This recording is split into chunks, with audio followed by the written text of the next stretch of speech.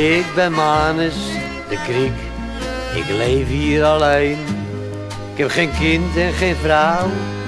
Geen mens om heen. Maar heeft een ander verdriet. Het is Manus die het ziet. Ik troost, praat, geef ze moed. Dan is alles weer goed. Je medemensen, die moesten eens weten hoe een bochel als ik zo vaak wordt vergeten. Het is soms een lach, een zoen of een groet. Al die dingen, die kleine dingen, maken het leven vaak goed.